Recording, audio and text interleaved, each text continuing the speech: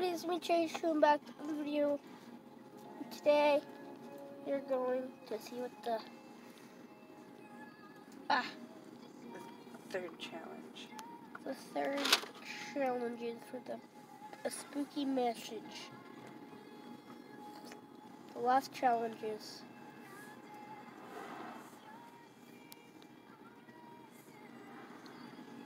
Look at that baby. Oh my god, he's he is the third message? Yep. He's cool. We already saw him in a gym though. I know, but now I'm seeing him on your screen. His name is Spiritomb. What are his attacks? I don't know, I can't check yet.